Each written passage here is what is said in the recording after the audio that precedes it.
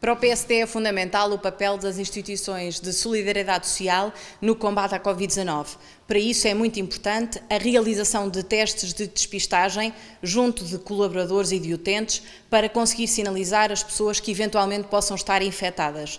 Eu relembro que cerca de 30% das pessoas que faleceram em Portugal, em resultado da pandemia, eram pessoas que estavam em lares. Daí que seja tão importante a realização destes testes. O PSD, estando preocupado exatamente com esta situação, fez duas perguntas ao Governo. A primeira foi para perceber se as pessoas que, não estando em lares residenciais, mas estando em instituições que prestam apoio domiciliário, se também serão alvo de testes de despistagem. Nós consideramos que isto é fundamental.